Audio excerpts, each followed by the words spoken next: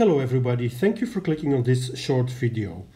On March the 10th I posted a video about my philodendron serpens that came to me in a very bad shape. And since some of you asked for an update, well, here it is. But first I want to show you what the plant looked like in March. And as you can see, it was basically just a stick with some roots and one growing point.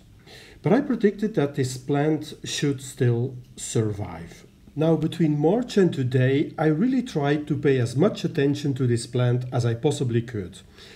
And I will show you some pictures uh, of the plant.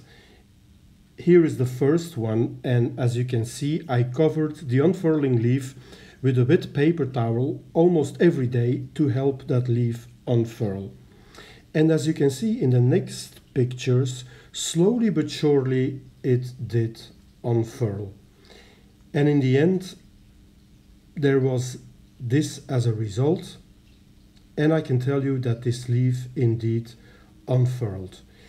So what does this plant look like today? Here it is.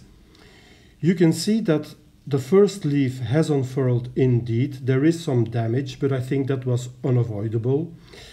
But then there is actually a second leaf that's trying to unfurl at this very moment. And by the way, you can see the very hairy stems that I just love about this plant. And then on top of all of this, there is a third growing point coming out of the plant. So that's the update. This plant is very much uh, alive.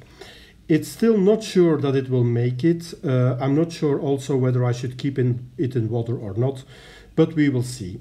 Thank you very much for watching. Have a good day. Bye bye.